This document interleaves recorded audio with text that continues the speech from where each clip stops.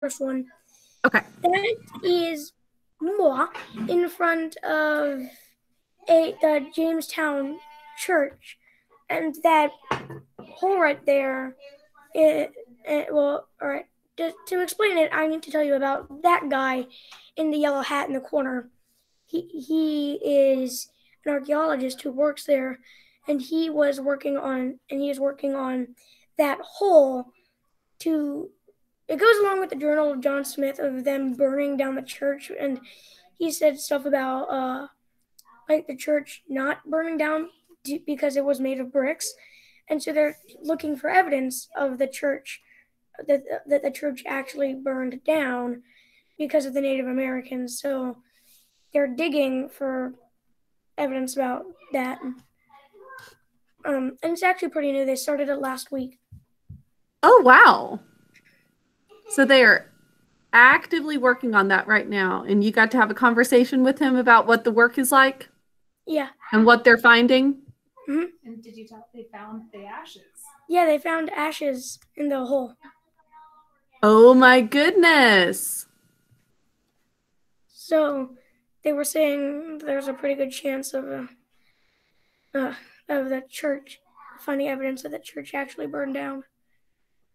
Okay. Well, very cool. Do you want to move on to the next picture and tell us what Okay, this is? That one is a graveyard for people who died in the star in the starving time. Um, and what, what's interesting about that is that the people who died, sorry, so they buried two people who were about the same age who died on the same day together. So there, so there could be uh, like more than 30 bodies in there. And it, it was just really interesting. I, I thought it told you about the graves on the, on the sign that was, you, you can't see it there, but it told you about like how the most famous guy in those graves was this guy that was this teenager who died of being attacked by Native Americans. And they know that because they found an arrowhead in his left femur. You could see a picture of the skeleton and the arrowhead in the femur. Oh my goodness. So that's amazing that they're able to, hundreds of years later, figure out some specifics bet- about like the relationship between the Native Americans and those first colonists. Isn't that incredible that they're able to do that? And learning about here we go, mm-hmm. the site of the first landing. Can you finish up with telling us about that? Sure. That is where the first ship landed in Jamestown. That's where the first boat stopped there. And Very cool. and and I don't know. I, I remember learning about the James River, so I decided to put that in the picture too. Yeah, absolutely. This goes so perfectly with what we have just been talking about. The starving time and the James River exactly and exactly where they landed. And you're getting to see it. I think what's especially cool is seeing the archaeologist actively working on uncovering the history behind it. hmm And today we're supposed to go to Yorktown. nice. What are you going to do there? I don't know. Get, just walk around. Very cool. Does anybody have questions? It looked like Aryansh had his hand up. So you guys learned about the Revolutionary War, by the way, last year, right? So you know all about Yorktown. Very cool. Okay, Aryansh, do you have a question? He also gave me this badge for the Junior Ranger program that they do. Up close. Oh, can you hold it up? Oh my goodness. Very cool. Aryansh, do you have a question? Yes, exactly. What's the stick that Tig is holding in all three photos? What's that for?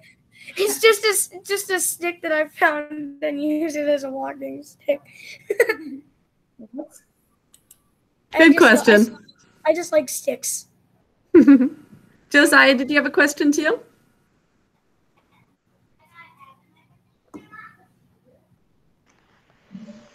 Um. Y- Yeah. Um. So, is that a is that a river or or Yes, the James. That is- that- yes, it's the James River behind me in two out of the three pictures. Samhita, do you have a question too?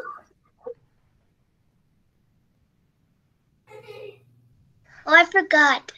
That I had a. Oh, actually, I remember. It's actually for the work, but why did you put Mowgli Part Three as due today? Um, I guess that was just a mistake. Or um, yeah, but no questions about Jamestown for tag? Well, I kind of have a question about the building. Yeah. Do you know when it was built, and did you get to go inside? Yeah, I got to go inside. No fair. Well, and and it had a supposedly knight's grave inside the church. It was cool. You got to see its coffin. A knight's grave. Mhm. Wow. And to answer your second question, the the church was probably built when they landed. I have a question. Yeah, and um, we have heard that the churches were really at the center of the town, and so it makes sense that they would have established a church very, very quickly. So probably within the first few years that they landed there. Alexander. So, in Jamestown, I have three questions for you. One, did you Okay. like it? Yes, it was it was great. Two, would you move there if it was possible? Sure, fine. Three, all right, here's a tricky question. And would you rather move to New York or Jamestown? Jamestown, New York is too busy. What? Oh, New York is Jamestown? New York is way too busy. to Jamestown. Great. Yes. Thank you. Okay, well, uh, well, we're out of time uh, for discussion of that, but I'd love to hear about Yorktown after you go there today.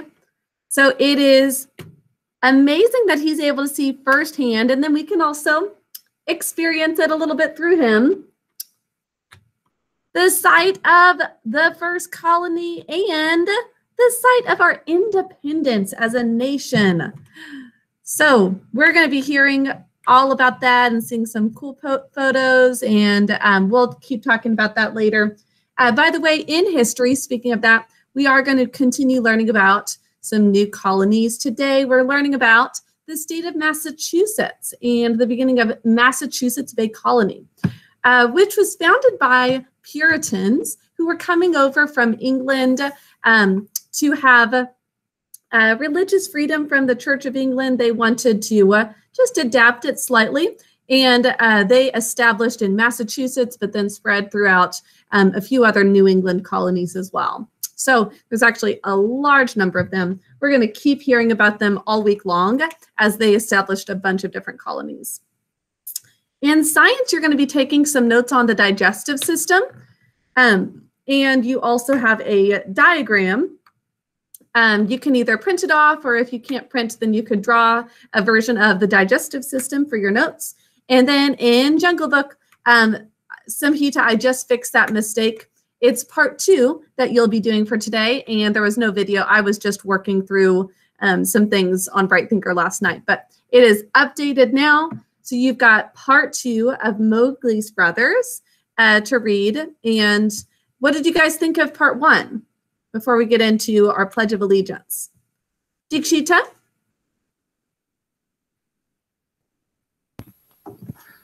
I thought there would be more. There will be more, like, like there will be more stories. Like, you can hear more about the Mowgli's brothers, part one. You thought there'd just be more? Yeah, and more reading. Yeah, it's um they're all short stories. Um so I know that's quite different than anything that we've done yet uh, this Oh. year. So uh, Mowgli is um, at this point kind of taken in by Mother Wolf, especially is the one who wants to protect him in the cave. And you're going to hear a little bit more about what the rest of the pack has to say about it in part two. So you're going to hear about that um, in the next section that you'll read today. Well, let's get started on the Pledge of Allegiance and school motto, and then we'll begin class. Uh, could I have uh, maybe Harika lead us in the pledge? Okay. I pledge allegiance to the flag of the United States of America and to the republic for which it stands, one nation, under God, indivisible, with liberty and justice for all. Honor. I'll honor those things which are good, true, and beautiful. Respect. I will show respect to others at all times. Service. Uh, I will do good things for others. Excellence. I'll uh, I will strive for excellence in all things. Perseverance. I will fulfill commitments and not give up for open open discouragement. Thank you very much. Please join me for a moment of silence, boys and girls.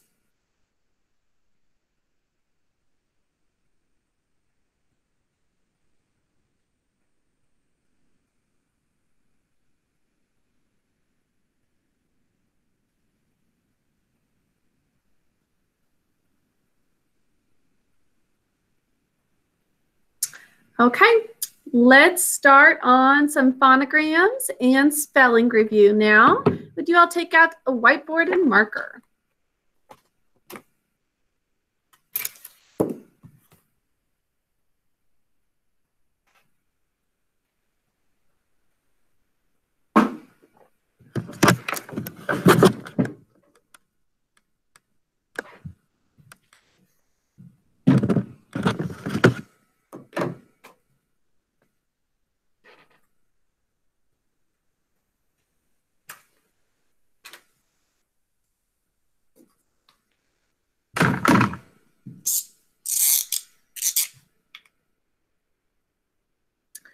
Let's do some more single letter phonograms today, starting with the phonogram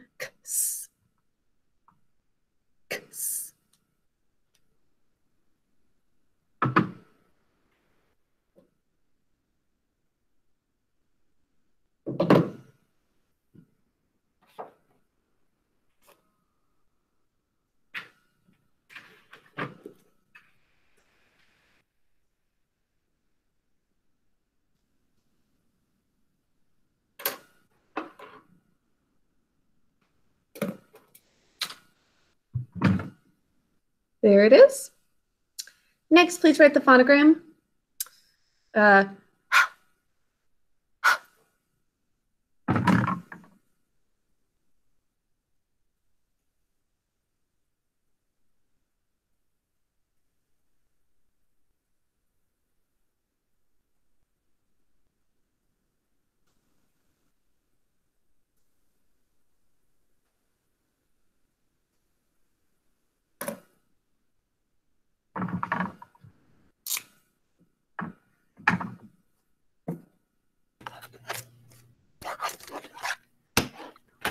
next, please write.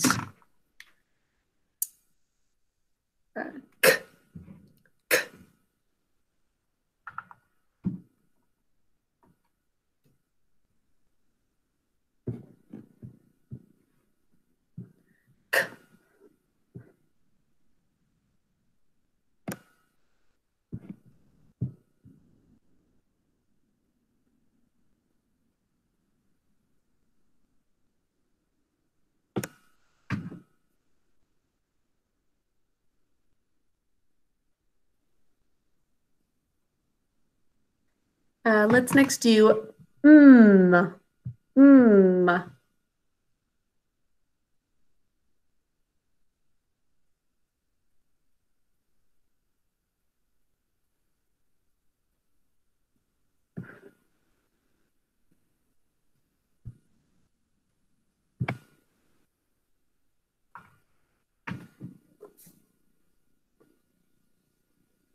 Mm. Do p. next.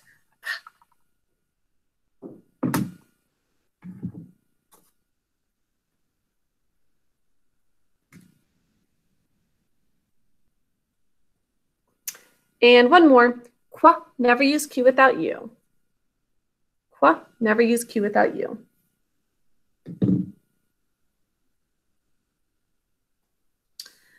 Josiah, could you say all of the phonograms for us? Okay. Mm. You never.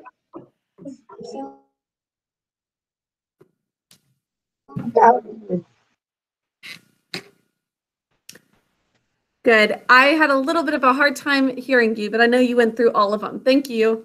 Could I have also Dikshita do all of them? Can you say each of the sounds?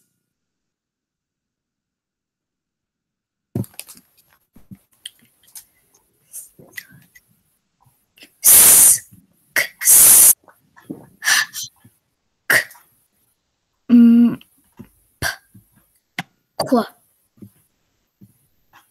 Well done. Thank you, Dikshita. Okay, let's move on to some spelling words, beginning with surgeon. Surgeon is the way we think to spell it. Aryansh, what, what are those markings? Made it look like you wrote a word with some quite an unusual spelling there. Okay, let's write surgeon, surgeon.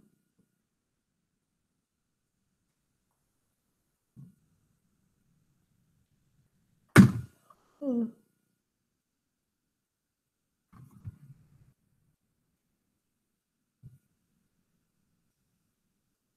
Arshab and Marcus, can you show me uh, the word surgeon as soon as you're done?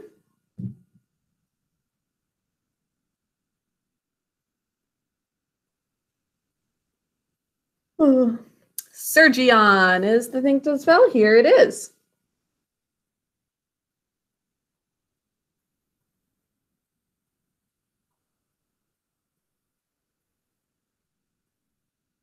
Next up, thoroughly, thoroughly.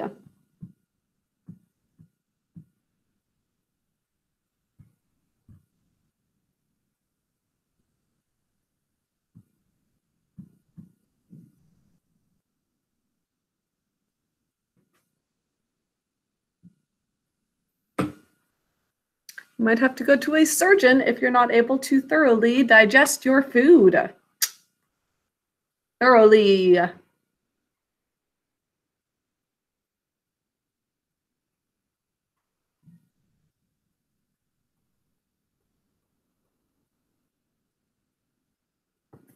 Next up, judgment. You may spell it with or without that E, judgment.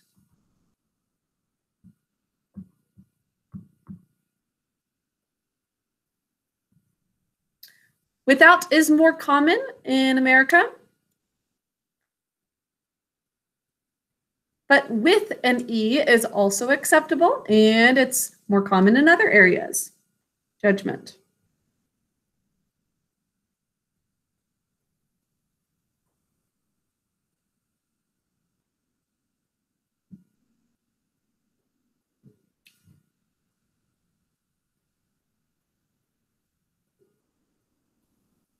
Are you guys able to hear uh, next door um, Mrs. Christiana's class singing the songs? I wondered how loud it was for you guys. They were doing conjunction.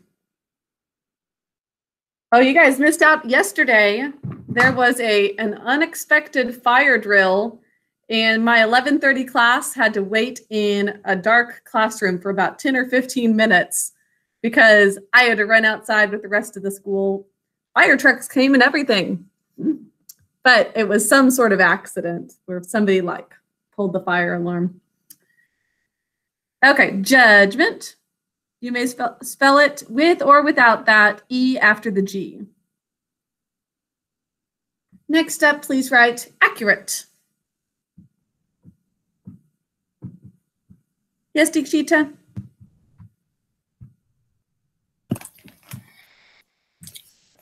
Uh, so my question is like, I forgot. Okay. Please show me accurate and accuracy. And then yes, Tag, what did you find out? I'll tell you once we're done with the review. Okay. Is it about Yorktown? No, it's something else. And it's really exciting. Okay. Accurate and accuracy. Please show me the two words accurate and accuracy. Two C's in accurate and accuracy.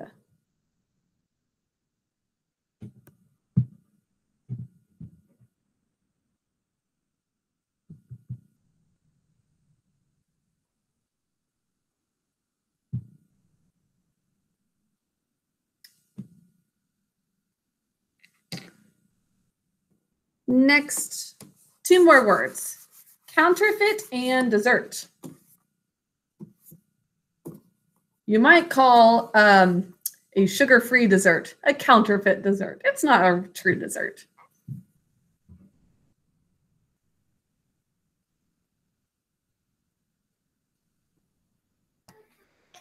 My mom has never had dessert in the past five years.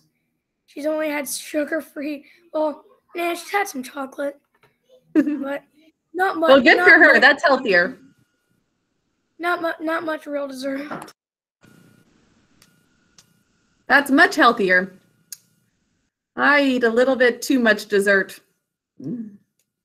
It's so tasty, but you only should have a tiny bit, tiny amount. Same here. Same here. Alexander, I- I only had two desserts in one month.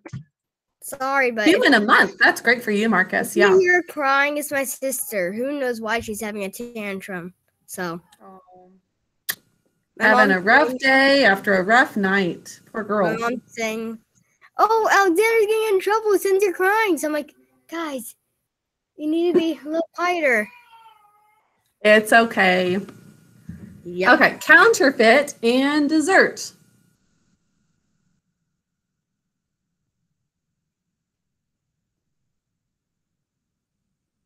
Dessert, like something sweet to eat, is with two S's. Think more s'mores, less sand.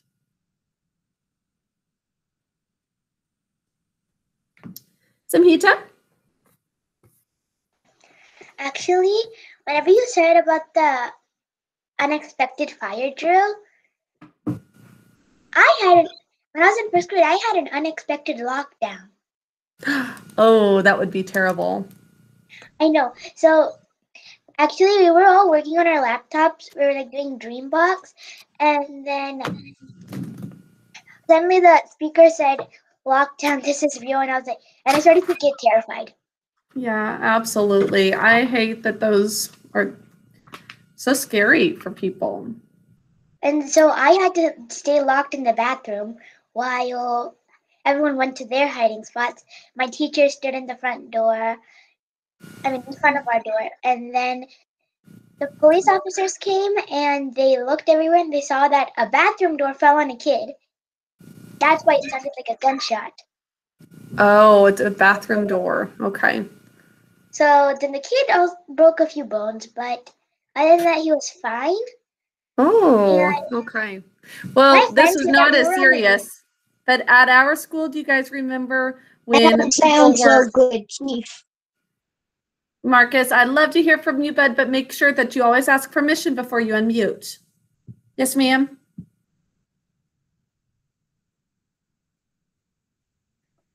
We had those walkie talkies and people kept accidentally hitting the button at the top. Do you guys remember that last year if you were at our school? It was all the time. Oh, and it made it so pointless because we didn't even know when it was serious.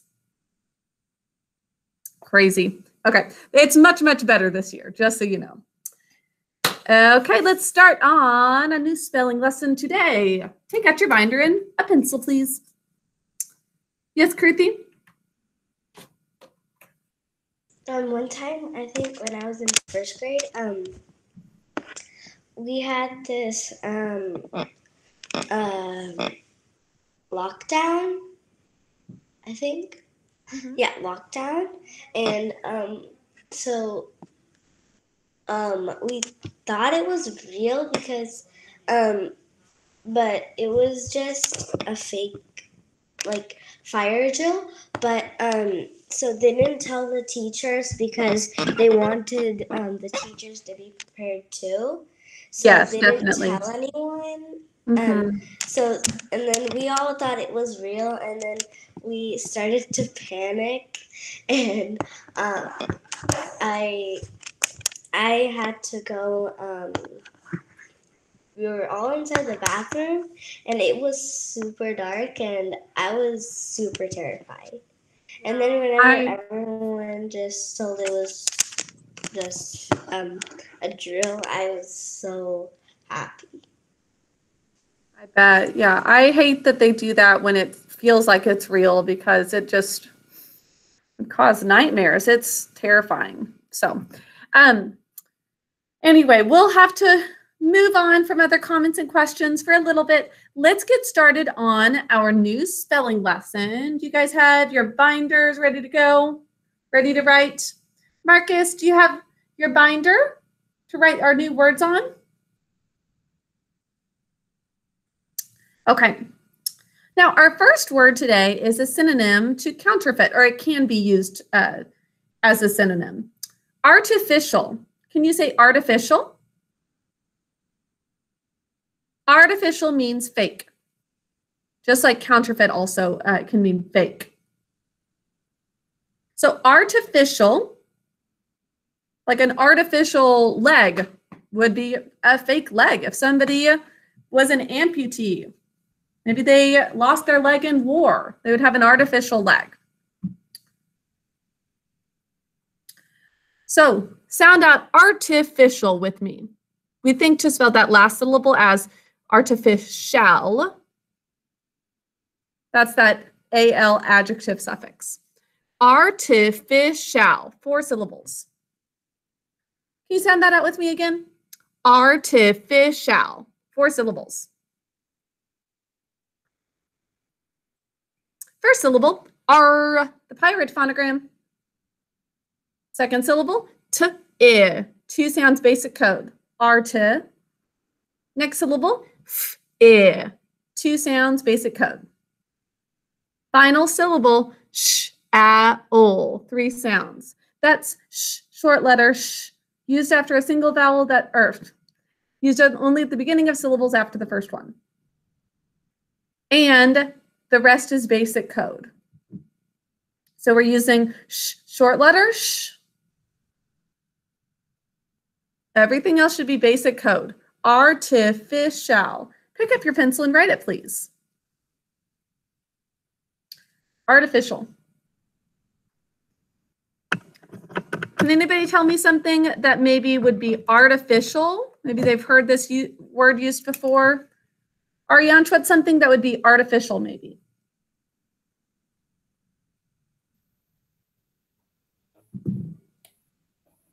A pacemaker. Yeah, absolutely. What is a pacemaker trying to be?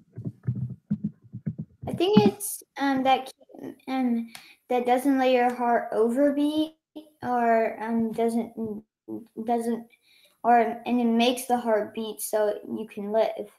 That's right. It controls that heartbeat. The pacemaker does.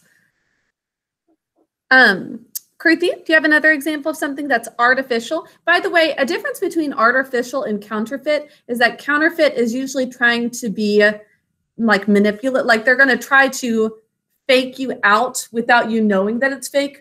Versus artificial, you know it's fake, but it's like a pacemaker or um, like a cochlear implant. Uh, Kruti? Um, like there could be artificial flowers. Yeah, artificial flowers. Um, we wouldn't call counterfeit flowers because it's not like really trying to trick you. But artificial flowers are ones that are like fake made of silk a lot of times. Um, Alexander, do you have another example of something that would be artificial? You know that I love turtles. I So know, There's yeah. this like there's this like huge like turtle on someone's truck, like a huge alligator snapping turtle, and then all we need to say is it's artificial because we knew it's fake. That's right. Tig? That plant and this tree. Mm, yeah, quite a few artificial plants. Oh, one more thing. Artificial flavors on food. There can be Yeah. artificial flavors in food as well. Mm-hmm. Harika's got an artificial plant I think she's showing us. Yes, Ty, go ahead. And um phones. Like those little kitty toy phones. Yeah, definitely. Or maybe some of your younger siblings have like play kitchens with fake fruit and things like that. Yeah. Yeah, my yeah, my uncle Jan got my got made my my sister a, a gigantic one. Oh, fun. Okay, let's write artificial. R syllable break. T I syllable break. F I syllable break. Sh a ol. Artificial.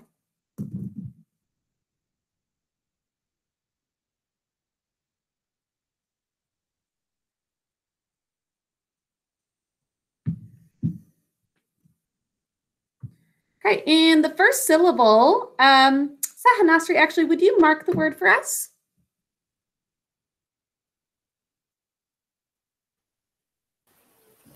Okay. First, underline the R.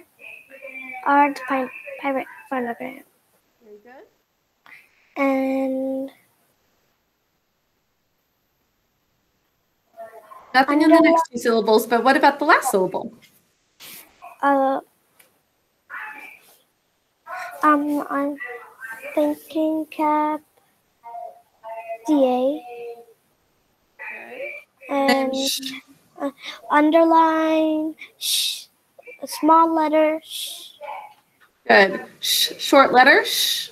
short letter. And this modifies a noun or a pronoun. So what part of speech would that make it?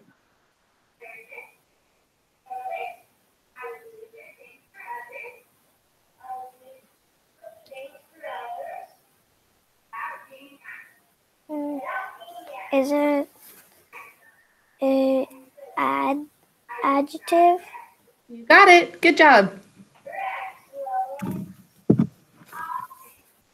Okay.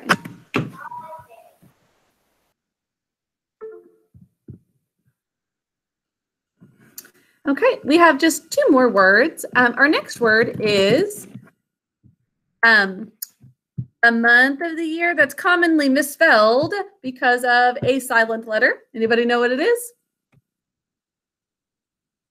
Aryansh?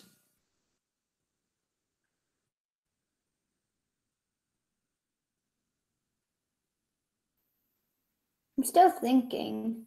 Hmm. Dikshita, do you know it? Has a silent letter. Uh, um, Is it February? You got it. Alina, did you know it too? I was going to call on you next if she didn't get it. So February is it. Now, Alina, do you know how we think to spell February? We say February, but how do we think to spell? February. You got it. February. now, this is a proper noun. We were just talking about proper nouns in well ordered language yesterday. A proper noun is capitalized because it names a particular person, place, or thing. Or idea. Um, so, person, place, thing, or idea, just like any noun. Um, and it is a specific one. So, we capitalize February. Sound it out with me, please. February. Four syllables. The first syllable is f-e-b. Basic code, three sounds. Next syllable, r-oo, two sounds, using a, u, u, u for the oo sound. Next syllable, air is a, r, two sounds. That's just a, a. It's an R controlled vowel, so that's what changes the sound a little bit. And the last syllable is E, which is yeah, I, E at the end of a word. Pick up your pencil, please, and write February. Yes, Harika?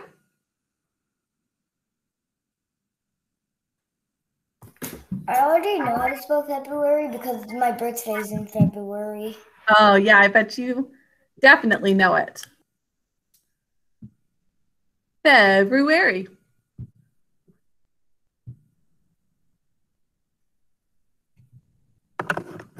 Marcus, are you writing February right now?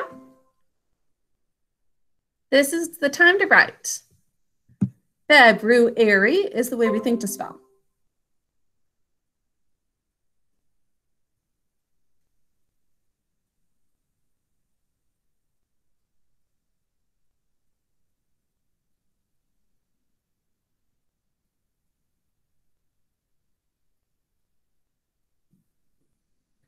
Okay. February, show it to me when you're done. Thank you so much, Alina. Can we capitalize it? Yes, capitalize it, please.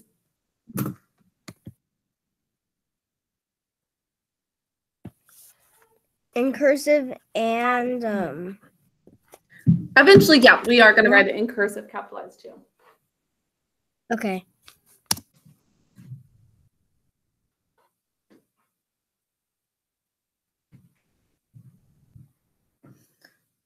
February.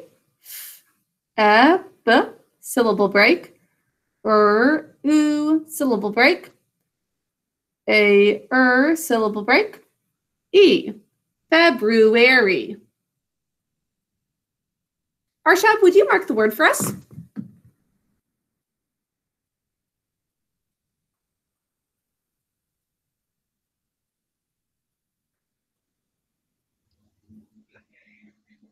Okay.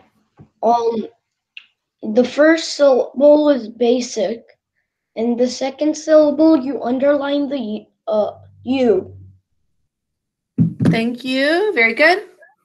And we're also going to put a three on top because it's that ooh sound, which is its nickname. Uh, next syllable. Uh, you put a thinking cap uh, above the R, and and an underline. Very good. Thinking cap over just the A because it ends up saying a different sound with the R there. Good. And then the last syllable. Uh, you put a three on top of y, I, E. Perfect. And what part of speech? Adjective. Um, it's a noun, actually, a proper noun. Okay. Now we have one more word that has a actually similar um, spelling pattern to it. Where do you go to borrow books? Emma? Library. The library. That's right. Hopefully, our school library will be back and up and running next year. But until then, hopefully, some of you go to the public library as well. So, library is our word. Um, it is commonly said, um, it should be pronounced library. But um, Emma, I noticed you said library, and that's pretty common that people end up saying it that way, um, just like February. But we should be pronouncing it library. Can you sound that out with me? Library. We actually do say the er in this one. Library. Three syllables. The first syllable is li, two sounds, just i-e in an open syllable. Next is B, R, A, R, three sounds, library.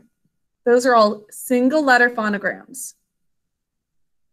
And finally, E is yeah, I E. Pick up your pencil, please, and write library. Library. Okay, Marcus, it's writing time now. Can you write library?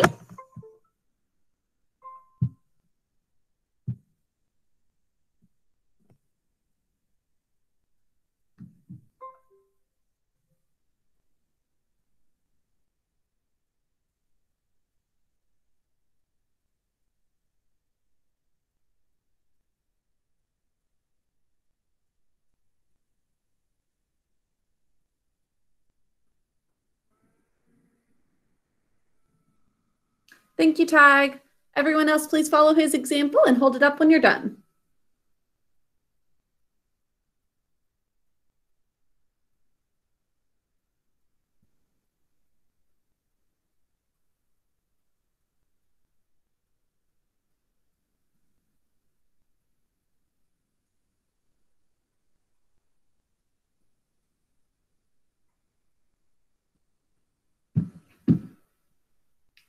Library.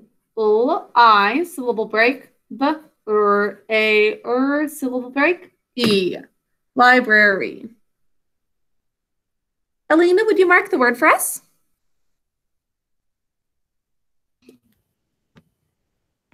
Yes, please. Okay.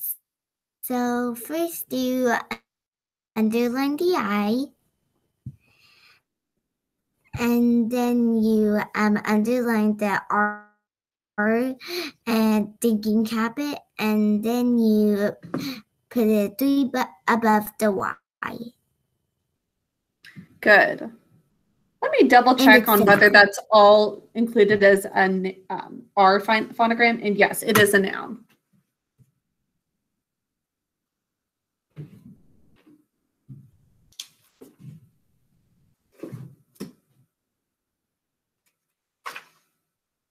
Um, actually, yeah, we're just going to put a thinking cap on that A and not even underline it.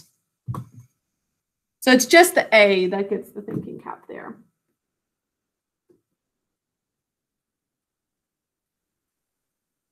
Okay. Let's write these in cursive. Artificial. February. The capital F is like this.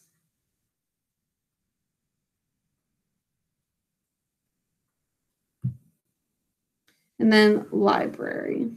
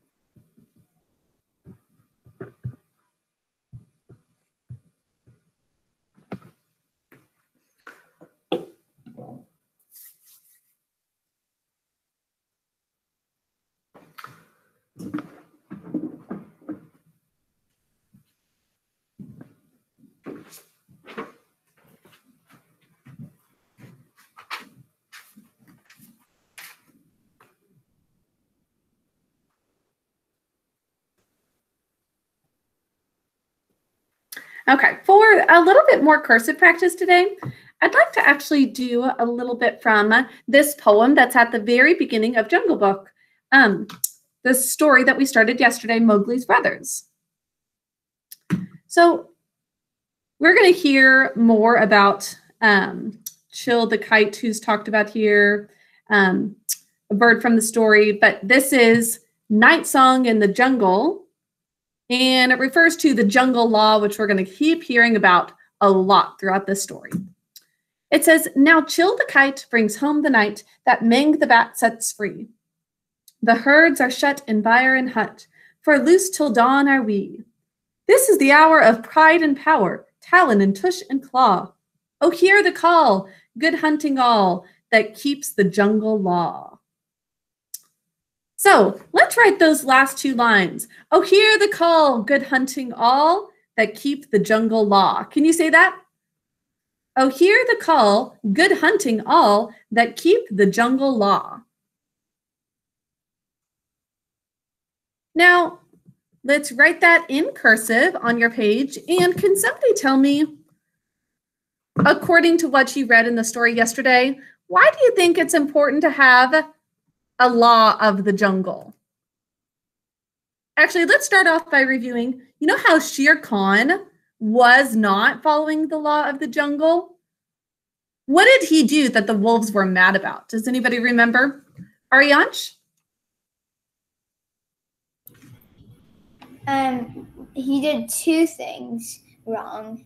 One thing took over the wolves' hunting ground without even telling the wolves, and the second thing is um, that now he only um, had he only hunts for cattle.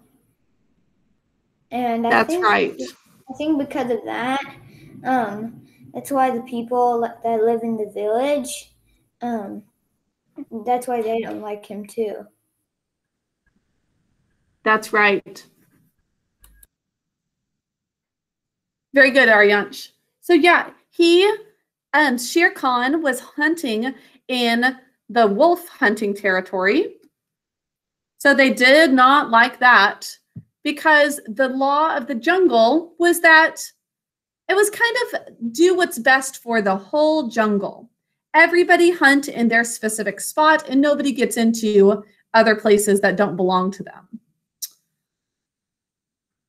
They need to have that jungle law in place, just like we need laws in society, right? We have the Declaration of Independence and the Constitution put in place to protect it. And then a lot more specifics to the law from that. But those things are in place um, for the well being of everybody so that everybody is free and protected. And we do what's best for the country. So, this jungle law is kind of like our constitution, and everybody in the jungle has to follow it.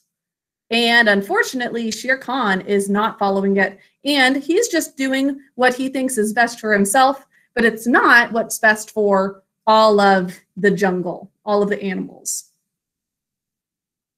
So we're going to see that a lot throughout this book, the law of the jungle.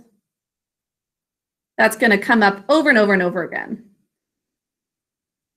Oh, hear the call, good hunting all that keep the jungle law. So it's best for everybody to hunt according to where they're supposed to hunt. That's for the well being of the whole animal kingdom. Not just every animal eat whatever they find and go wherever they want.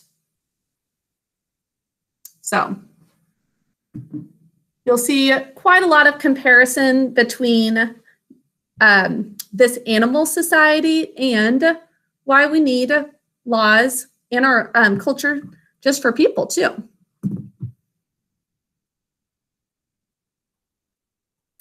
So that is, oh, I forgot to put quotation marks at the end of it. That's what we'll do for cursive today, although I forgot to write um, an idiom for us yesterday. We've been doing idioms on Mondays, so I'd like to actually write that as well. And then we'll switch to well-ordered language. Okay, I think that we've done his bark is worse than his bite, right? What does that mean if you say someone's bark is worse than their bite? Tig?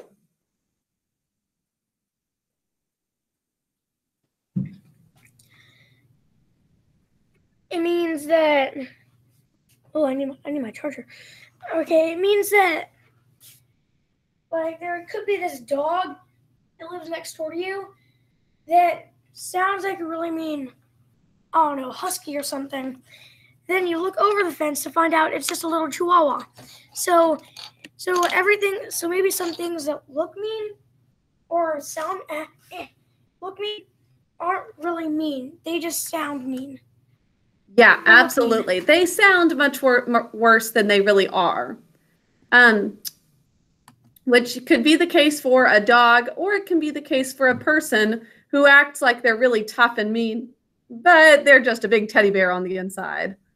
Just a softie. Like Archie. yeah, like Archie. Like Archie. Vicious. And then you look over the fence. Then you look over the fence and Just a little see is a guy. okay, we also learned the idiom last straw. If you said something is the last straw, Marcus, do you remember what that means? The last straw. Or you can think of that image of the like straw I that broke had the enough. I don't want to deal with it anymore. It's your problem. I'm setting it aside. you got it, Marcus. Yeah, it's I've had enough. That was the very last thing to tip it over the edge. Um, sometimes it, this phrase is said as the straw that broke the camel's back. Because a camel can handle a lot of little pieces of straw, but once it builds up enough, it's just too much for them to handle. So it's like lots of little things eventually tip it over the edge. And I think that we did let bygones be bygones as well, which basically means forgive and forget, let it go. Okay, let's do one more idiom today, which is called on its last legs. Oh, I figured somebody would start singing Let It Go. on its last legs. Oh, actually, we've done that one, haven't we? Never mind. That's like No, but my dad it all the time. This is it. On I its like last things. I bet. On its I last legs did is like a computer that is just about to totally crash and burn. And oh, we've actually I done one rotten apple spoils the whole barrel too. Okay, I see where we're supposed to be. Rule the roost. Oh, that's a good one. Can you all say rule the roost? Rule the roost. What do you think that means? Ah, Rule the roost. I have a good feeling. Ariane, do you have an idea? Okay, just a minute, Tag. Mm, I think ruling. Yeah, it's something to do with ruling. That's all I know. I was about to Yeah. say ruling a roast. Oh, it's not a roast though, it's roost. Oh, Hmm, what do you think that's talking about, Alexander? mm. In my mom's opinion, she would love to rule a roost. A rooster. oh, does she like chickens and roosters? she does not like them. Oh, she does not like them. When she used to live on a farm, every time she opened the coop, she thinks they would chase after her. So I'm like, Mom, they're just walking. well, rule the roost has They to do with roosters, yeah. It's when a person takes charge and they kind of boss everyone around, like Eliza Jane and Farmer Boy. She likes to rule the roost. So it comes from um, how a rooster acts in a hen house. A rooster comes in and they act like they're so much bigger and more important than the chickens. And um, a roost, specifically, not rooster, but just the roost, is a little perch where a rooster and his hens can all rest together. So it's like a little perch. And because the rooster is bigger and stronger than the hens, he kind of can push them out of the way and take up more space in the per- on the perch or the roost.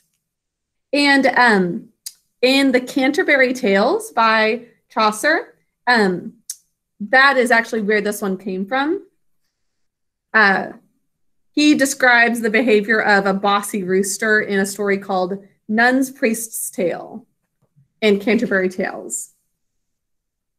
So, um, oh, there is a variation, I guess, of this idiom um, called rule the roast, going along with what Aryansh was thinking. So, rule the roast refers to when a master of the house is being kind of bossy in the same way, and they're the one to like cut the meat at the dinner table. So you can say, I guess, rule the roost is what is more typical, but rule the roast could also be used for someone who's like, I'm the man of the house and I'm gonna carve my carve the turkey right there at the table. I'm in charge.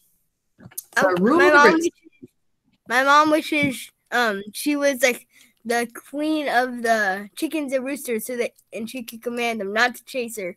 And That's right. She literally can't even like. She used to can't can't even eat eggs, but now she can. So she does not. Oh my goodness, she was so scared she couldn't eat eggs. She crazy. Eat eggs, eat Wow. chicken. Oh wow! But now Okay. she can. Let's um, switch over to well-ordered language next. Once you're done with rule the roost, that's our only idiom for today. Rule the roost. Oh. Sound properly, blah, blah, blah, to Eliza Jane, or Eliza Jane says to Almanzo. That is definitely an example of her ruling the roost, especially when she was so told to be in charge. That's so improper. Blah blah blah blah blah blah blah blah blah blah blah blah blah. Okay, let's go over some well ordered language now. We're going to open up to page 194 in your workbooks and do a little songs to review first of all. Do you guys remember our object prepos or sorry, object pronoun song? It's been a while, but we are going to review that because we're talking about compound direct objects and a compound or sorry a direct object in general can be a noun or a pronoun so let's review that one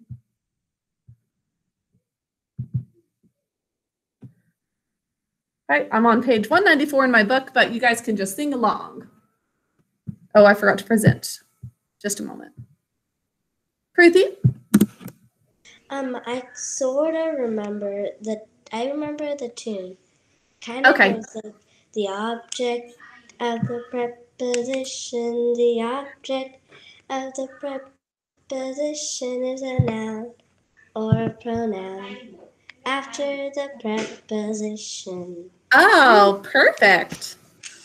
Yeah, that was excellent for the object of the preposition. But um, we're actually going to go over object pronouns, which also, so object of the preposition can be a noun or pronoun. Here's the object pronouns. It's been a while since we've done this. Object pronouns are in the objective case. You, You, him, him, her, it, it, us, us, you, you, them, them, me, me, you, you, him, him, her, it, it, us, us, you, you, them. Object pronouns are in the, In the objective case. case. Me, Me, you, you, him, him, her, her, it, it, us, us, you, you, them, me, you, you, him, him, her, it, us, you, them, me, you, him, her, her, it, us, you, them. me, you, him, So those are the object pronouns. Me, you, him, her, it, us, you, them. Those are the pronouns that can be used as either object of the preposition or direct object.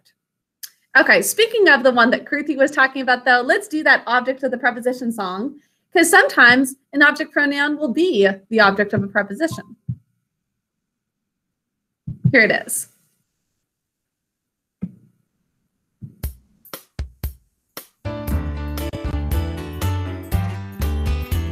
The The object of the of the preposition. The object of the of the preposition is a noun or pronoun. After, After the preposition, the object of the preposition, the object of the preposition is a noun or pronoun. After, the preposition. Kind of a country western tune. I think a little little jig is appropriate. Okay, let's do uh, direct objects as well. We're talking quite a bit about direct objects. Please sing along with me. D O D O a direct direct object is an objective element that tells what what the the subject is acting on. D O D O. It's, It's a noun or pronoun noun after, transitive verb. verb. D O. D O It answers the question what or whom after the verb and is labeled the O. O D O D O. Okay, well, that is what we are going to be putting into practice today. Let's take a look at page 194. Could I have Marcus read the instructions on the Learn It section? And you should be able to look at your own book too. Do you have your book open to page 194? Um, is this well ordered language? Yes, it is. Okay. I check every time. Okay. 194. Learn it. Direct objects uh, complete the meaning of the action verb in the following sentences. Fill in the missing part of the compound direct object. Example: Dad watched Theo and the bullies in in his fields. Thank you. So we're going to fill in just a compound direct object. Um, sometimes it will need an article adjective to go along with it, like the boys. Sometimes it may not. Uh, in this sentence, it says Theo played soccer and blank near the new playground. What is a word that could be used as another direct object in the blank? Dikshita? Basketball. Excellent. Played soccer and basketball in the new playground. Near the new playground, sorry. Number two, four little cousins played tag and blink on the blacktop. Tag, what could work in this sentence? Um, can I do number three too? Because I, because remember how I worked ahead? I I came up with a really good one for it. Okay, I'll have somebody else do number two and I'll get back to you for number three. Um, Sahanas, actually, Josiah. Josiah, can you share something that the four little cousins would play? They could play tag and what else? Freeze dance. What is it? Freeze dance. Freeze dance. I like it.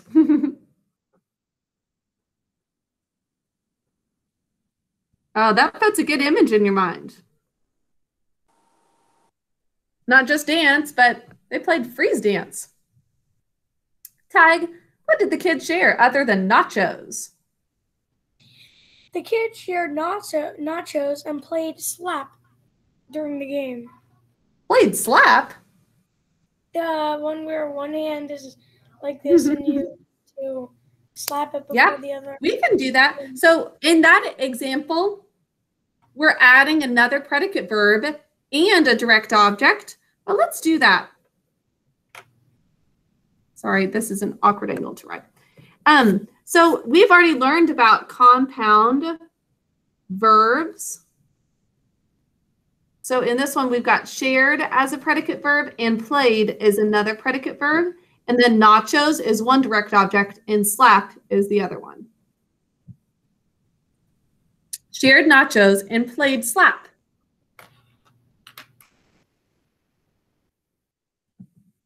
Sorry, that's not low enough for you guys.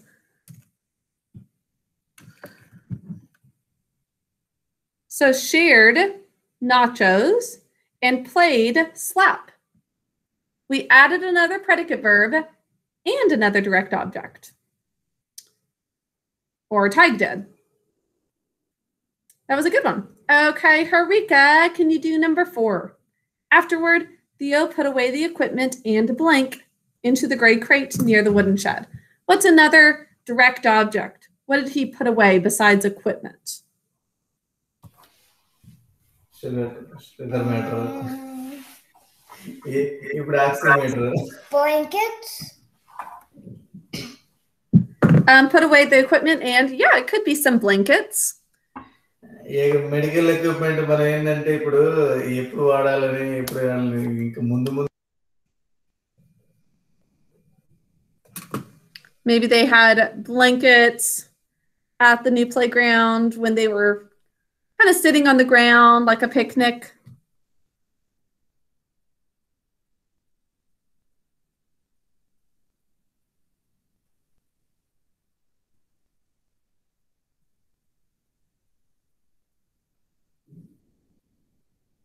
Okay, that is all for that part. Now let's analyze some sentences together. We'll start by reading it. Make a good mental picture of what's happening as well.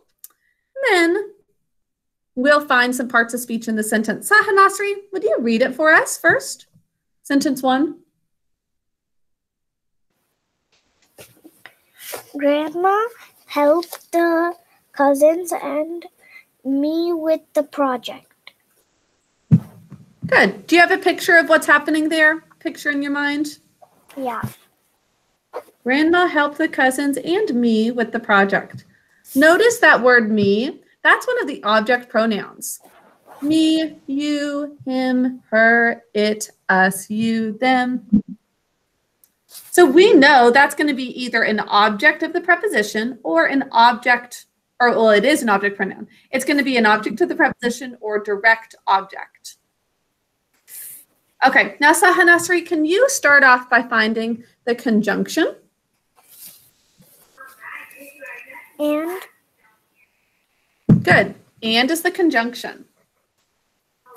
Are there any prepositional phrases, Sahanasri?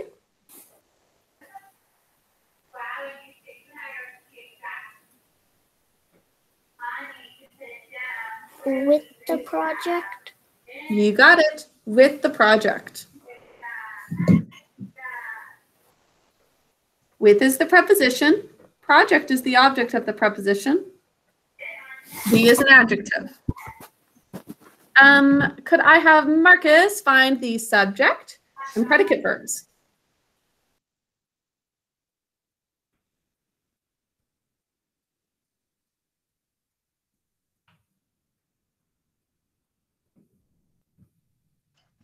Say that again. Can you find the subject and predicate verbs, the principal elements, we call them?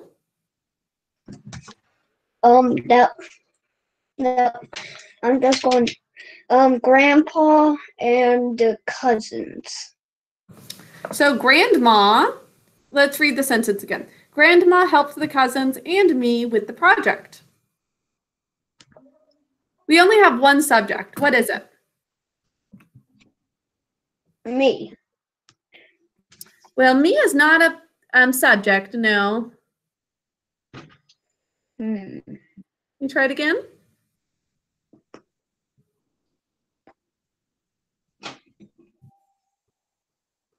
One word is the subject. Who or what is doing something. Grandma helped the cousins and me. Um. Was it grandpa? Grandma? Good. Marcus, do you have your book on um, open to page 195? I just did, but I did. um, Okay, Marcus, don't put it away until I put mine away. Okay? Okay. Take a moment to open it to page 195 and keep yourself unmuted, Marcus, because I want you to keep helping a little bit longer. So, grandma is the subject. It's going to be a lot easier for you to look in your book. And also, it means less for you to do for homework since we're doing some of it together. Okay. Okay, Marcus. So, grandma is the subject. What is the sentence saying about grandma? Um, Grandma. grandma.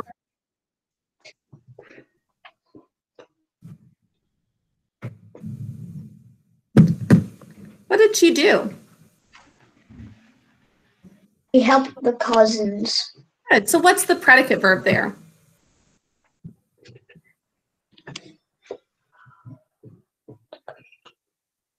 Helped Perfect. Do we know what she helped or whom she helped? the cousins. She helped the Good. cousins. And who else did she help? Put. Um, Grandma helped the cousins person- and me with the project. this is. I'm. I'm so conf- Wait, it's just. It's me. And. Yeah, me. You got it. It comes out so wrong. it does sound funny, doesn't it? To say, Yeah. she helps me. It makes it sound like you're talking about yourself. So, grandma helped the cousins, that's a DO, and me, the other DO, with the project. The is an adjective modifying cousins.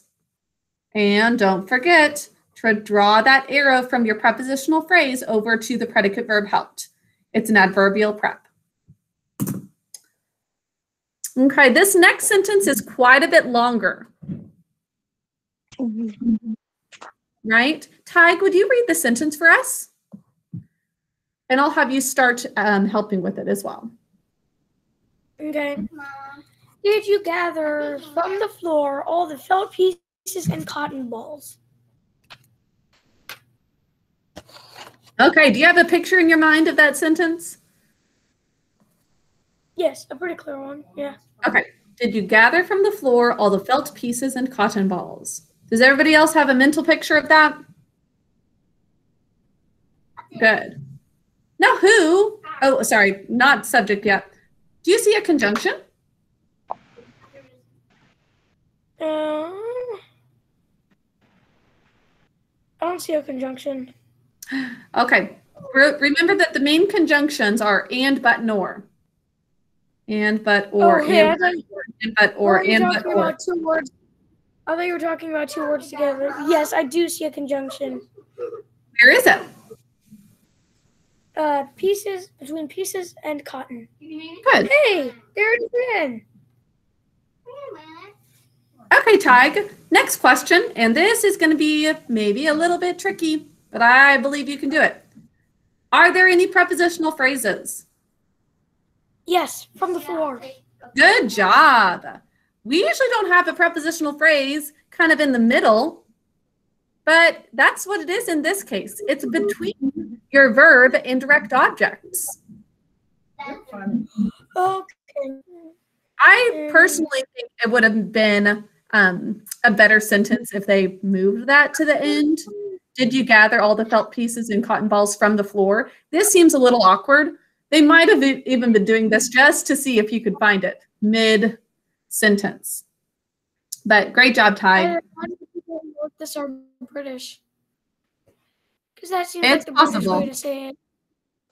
Yeah, it's a little unusual to put the prepositional phrase in the middle of the sentence, but it is definitely not incorrect.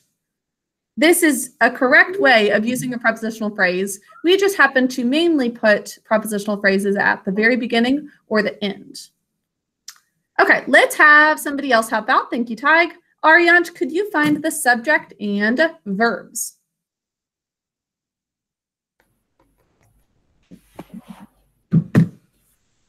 Subject and the verb is um so the subject is you and um get gather is the predicate verb.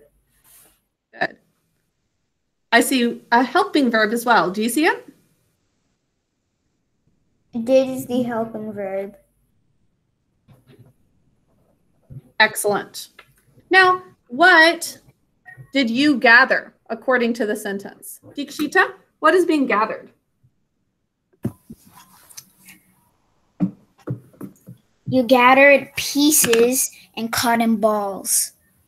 Good. So what let's find the actual object. Can you find one word for each of those? Uh, pieces. Good. So pieces is the direct object. Felt just modifies it. It's an adjective. What else is being gathered? Um, Miss Gardner, is the also modified with pieces? Yes, it is. And all is as well. Okay. And, And saying how many? All. and cotton balls. Balls is the direct object. Good. And cotton is an adjective. I would understand if you just circled cotton balls altogether, but it's better to circle balls as the direct object and what kind?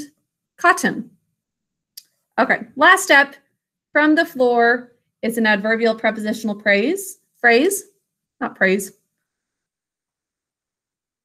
Put ADV prep to modify it. And that's all. You'll do two pages on your own, boys and girls. 196 and 197, including some proper and common noun practice and making a sentence out of some words here. Okay, great job. Let's take out our orthography notebooks at this time. And we'll sort in actually a one spot as well.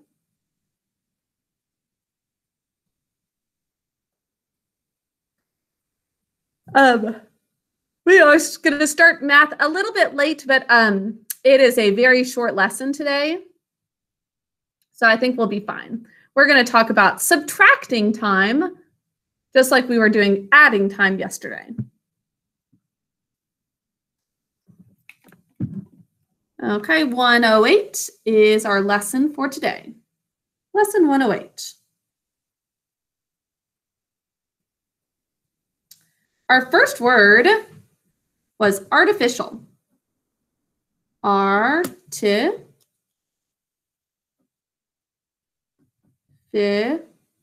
shall. Artificial.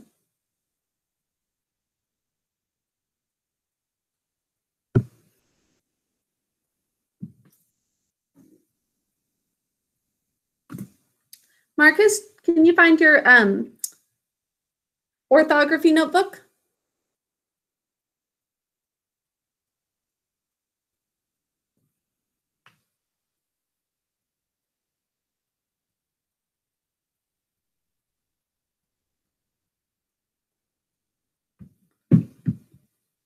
Next is February.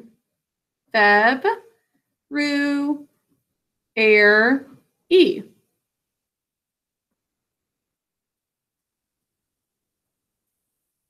February. Yes, Kruthi? On what page? Page 64.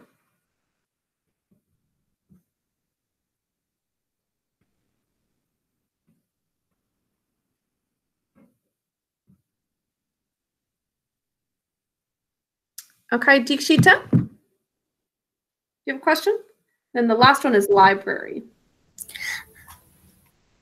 I don't have a question, but I know where to put the like like February's uh February's and proper noun, so I know where to put it. Good. Okay. As soon as everybody's done with these three, then that is exactly where I wanted to sort today. Great job, Dikshita. Um, is everybody done with artificial, February, and library? Okay, Deekshita, what page did you find it? 25. Great job. 25.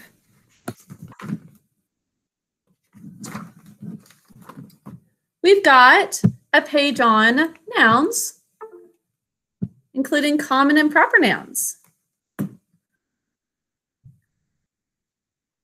Marcus, can you turn to page 25?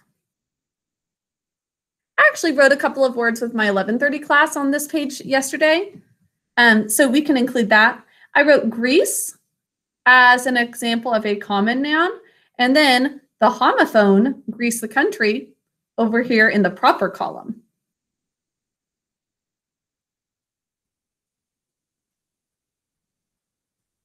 And vehicle and vehicles over here for common nouns, singular and plural.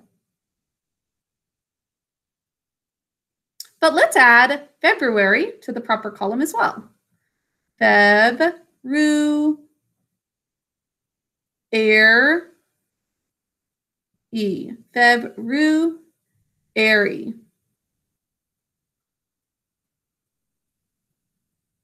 And library would be a good one to include here. Actually, let's do library.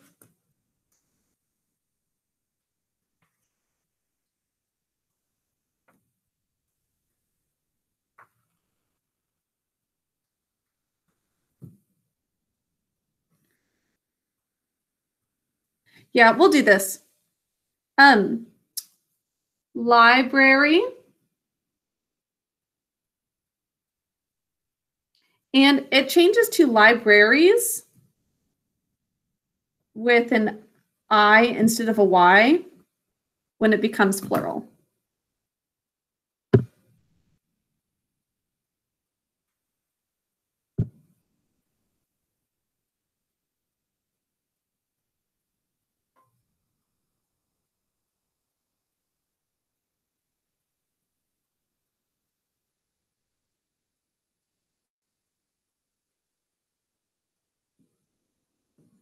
And then one more spot I want to write synonyms, antonyms, and homonyms. I think we should have one more spot for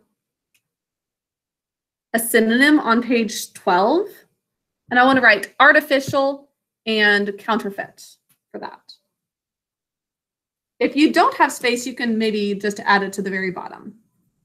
Counterfeit and page? artificial. Page 12.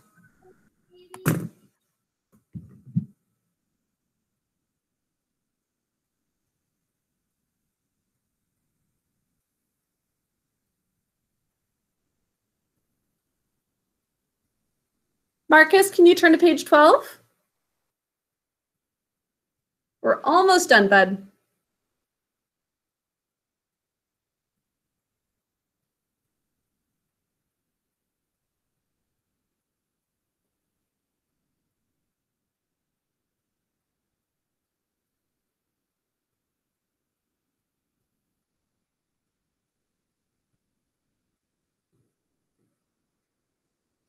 Okay, who's done?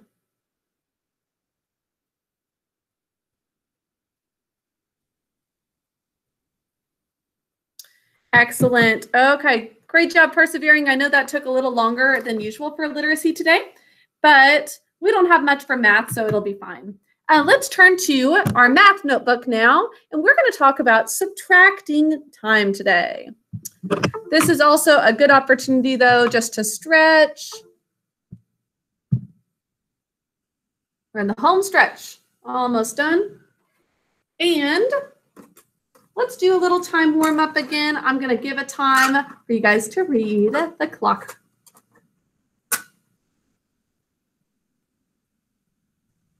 And I'd like everybody to take out their notebooks, math notebooks, because that's what we'll be doing next. Simpita, can you read this time for us? One thing, I can't see the minute hand. 1238. Good job, 1238. Miss Okay, let's get another one. After math, can I ask you a riddle? Uh, yes, I'd love to hear that. Okay, Alexander, I'll have you do this one. Finally, I've been trying to get through. Hold on. It is 8 fif- 16. Good job. 816. Let's do another for Arshab.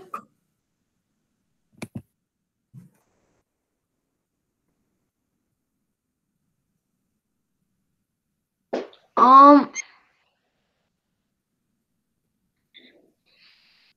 Look, it's almost to the next hour.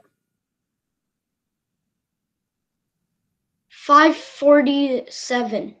Good job. And one more for Marcus. Marcus, tell us this one.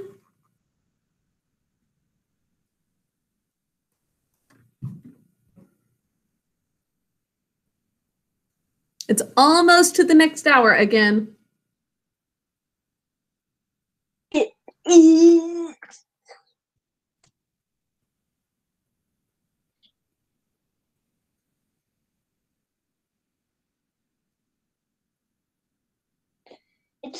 I think it's the three, yeah, fifty. 350. Five. One minute passed though. Three fifty-one. You got it. Good job. Okay, boys and girls, how did you feel about your math pages yesterday for homework? Adding time with regrouping and with no regrouping. Felt good? I figured that would be pretty easy.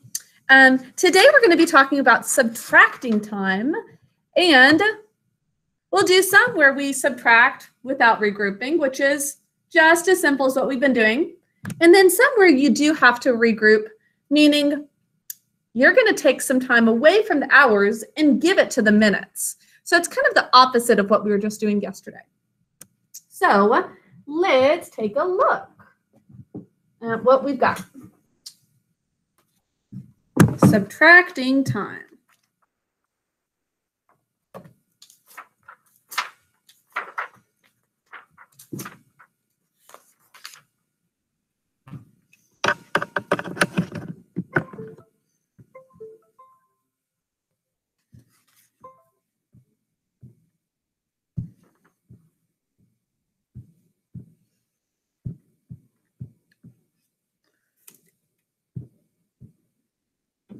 Okay, first, we've got some subtracting time without regrouping. Now, if you have a problem, well, here's a whole story problem about Mr. Jackson taking some time to paint his bedroom, two hours and 15 minutes. Then he takes an hour and five minutes to paint his dining room. We want to know how much longer it took to paint the bedroom, and we subtract to do that. But notice that we don't need to do any regrouping because we can just subtract our hours.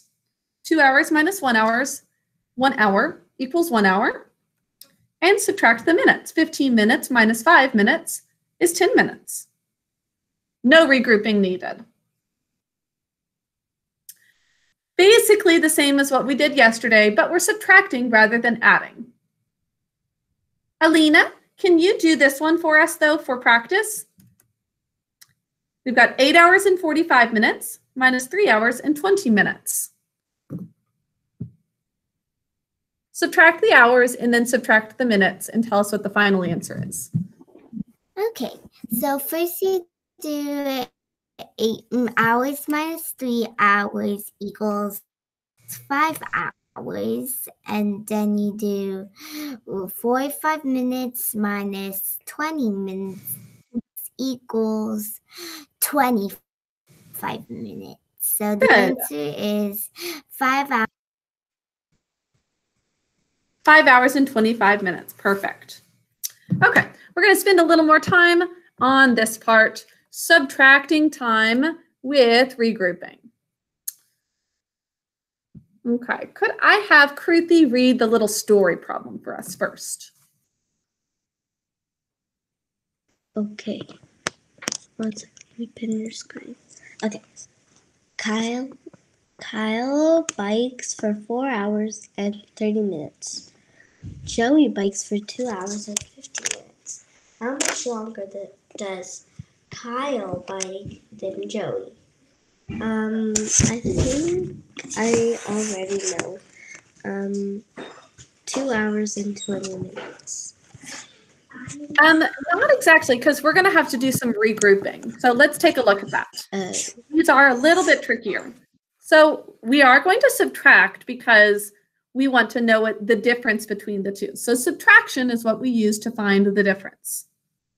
So we've got four hours minus two hours. Now we can immediately subtract those. But 30 minus 50, uh-oh, we can't subtract 50 minutes from 30 minutes. So this is what we do instead. We basically move one hour over to the minutes so that we're left with three hours and 90 minutes. And then we can subtract 90 minus 50. It equals 40. So just like in subtraction, when we have to regroup from the tens to give to the ones place, that's what we're doing here, regrouping from the hours to give to the minutes so that we can subtract. Okay, let's put that into practice in your notebook now. Oh, Ty, you're making us hungry or making me hungry. Looks yummy. Sorry. You're good.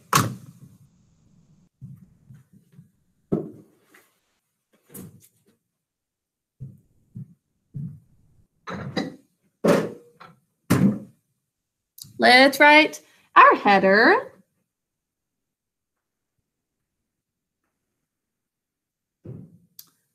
Miss Gardner, May the 4th. May the 4th be with you all.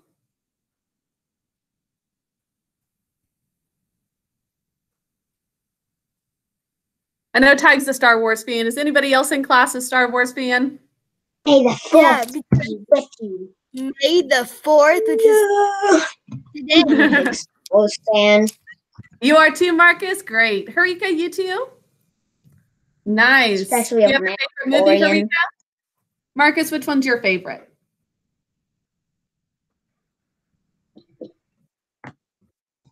Well, my favorite is the Mandalorian series. Oh, nice. Who else likes the Mandalorian series? Yeah, they're very good. Harika? I don't like the series. I only like the movie because it has Baby Yoda, and Baby Yoda is very cute. And also, it's really cool. Oh, Baby Yoda is in the series. He's not in any of the movies, actually. Well, he's in the movie Mandalorian. So Mandalorian is, yeah, the series that we're talking about. Uh, the, yeah. Nice. Dikita, let's write out this example, by the way. 7 I'm a Star hours. Wars fan. I'm an Avengers fan. Oh, well, some people are both. Seven hours and put in 40 minutes minus four hours and 45 minutes. So, seven hours and 20 minutes minus four hours and 45 minutes. Before you just jump into thinking, oh, seven minus four is three, 20 minus 45 is 25. Ah, no, we can't subtract 20 minus 45. Not going to happen. What we're going to do is regroup this one so that we have enough minutes to subtract from. Emma, can you help with this?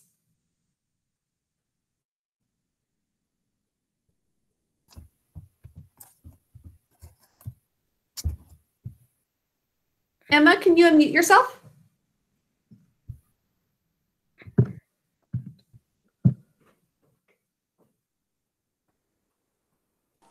Hmm.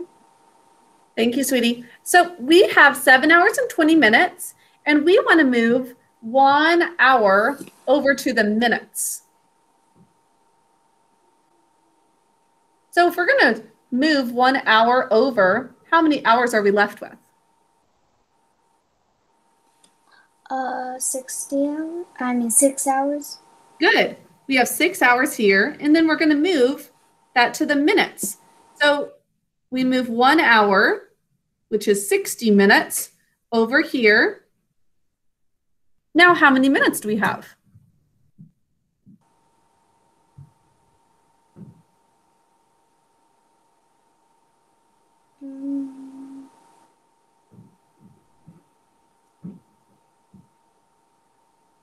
We moved 60 minutes over here, and we're going to add 60 minutes to 20 minutes.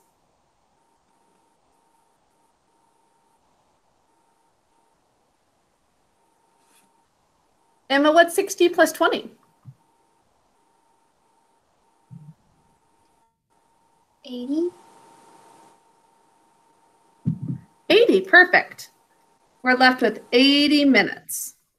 Now we have six hours and 80 minutes, and we can subtract those right away. Do you see that? So now we have six hours, 80 minutes, minus four hours, 45 minutes.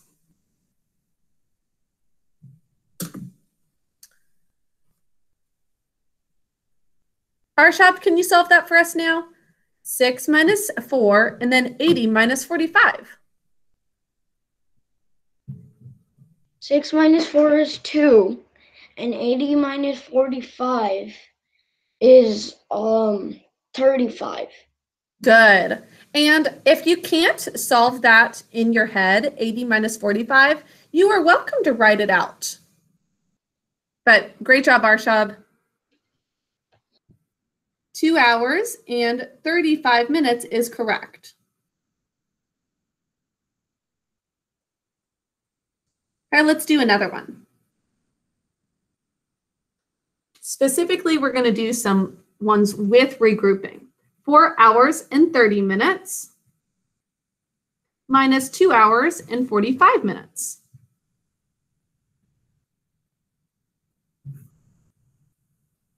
This first one, if you're going to regroup, it's always the first one that's going to regroup, by the way, because we need this to have enough minutes to subtract from. Samhita, can you solve this problem for us? Walk us through the steps as well as giving us the final answer. Okay. So you have to regroup four hours to three hours, and then 30 minutes becomes 90 minutes. Perfect. And then three hours minus two hours is one hour. And then 95, sorry, 90 minus 45 is 45. It's a double. That's right. So the answer is one hour and 45 minutes. Great job. One hour and 45 minutes.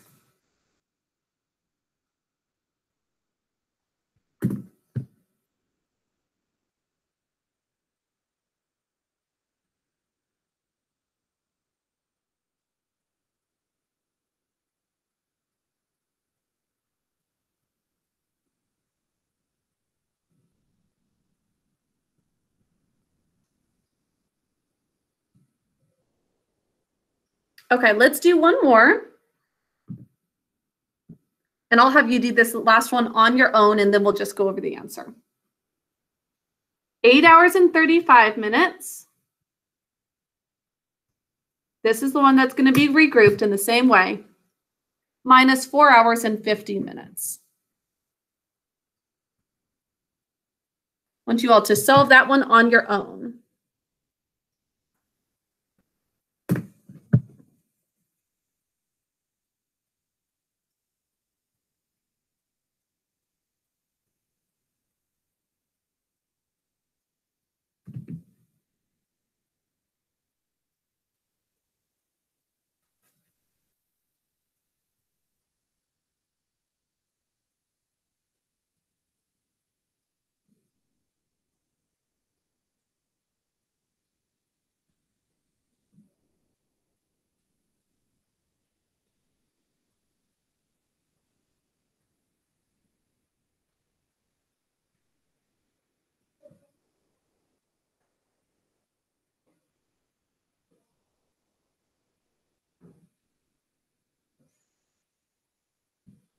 Let me know when you're done, boys and girls. Give me a thumbs up if you're done with 8 hours and 35 minutes minus 4 hours and 50 minutes.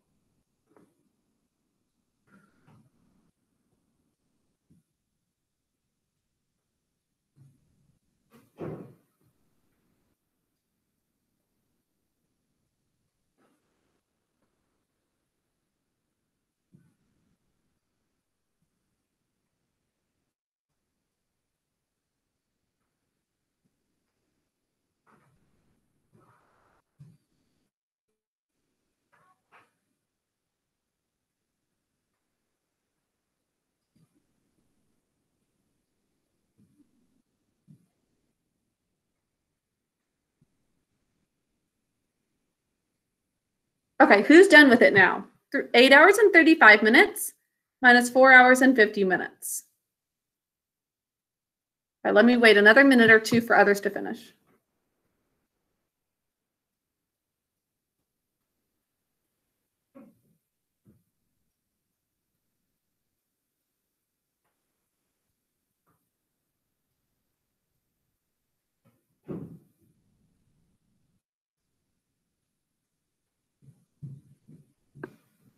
Josiah, are you done?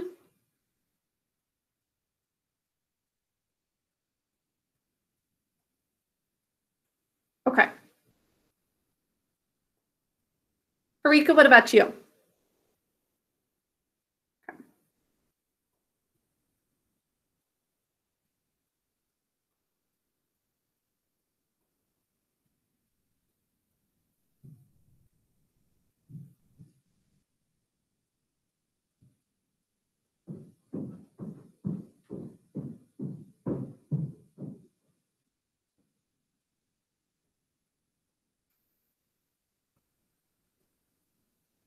Josiah, you're done now? Okay, looks like maybe there's a little confusion about this one. Okay, Harika, actually, could I have you walk through what you did for this problem? Okay, so I did. So I gave took away uh 60 minutes from the eight hours. So now we have seven hours, and I added three 35 plus 60, so I got 95 minutes. And then I uh, mi- minus four hours and seven hours, and I got three hours. And I minus 95 minutes and 50 minutes, and I got 45 minutes. Great job, sweetie. Okay, so you're left with three hours and 45 minutes. Who got the same thing? Great job. For those of you who are taking longer, do you see what she did? We always move 60 minutes over to the other one and add it to the minutes that are left. Okay, you're going to be practicing this with your workbook pages today. It'll be very similar to yesterday's workbook pages, the same setup. You'll have a page of no regrouping. That should be pretty straightforward. Just no regrouping practice. Subtract the hours, subtract the minutes. And then the next page is all regrouping. And they give you the little number bonds for each one as well. So it will tell you when you have to regroup. And remember that we're always adding 60 minutes. When we move one hour, we add 60 to the minutes that are left. And the last one is a story problem. Rita takes three hours and five minutes to sew a dress. Tara takes two hours and 40 minutes to sew a similar dress. Subtract three hours and five minutes minus two hours and 40 minutes using the same strategy. Okay? Any questions?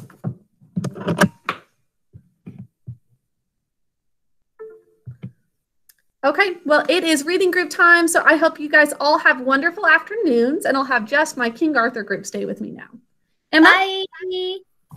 Bye, Miss Gardner. Miss Gardner, you one quick What's that? problem? Miss Gardner, can I ask you one quick riddle? Um, you know what, Samhita? I was just calling on Emma first. So, um, and it might be better since so many people have left just to wait until tomorrow, okay? Okay. Um, Hi, so Miss the problem, Hi, sweetie. Which one, Emma? the last, the problem, uh, we, do we have to do bar model or no? Good question. No, you don't have to, um, because we haven't talked about how to do time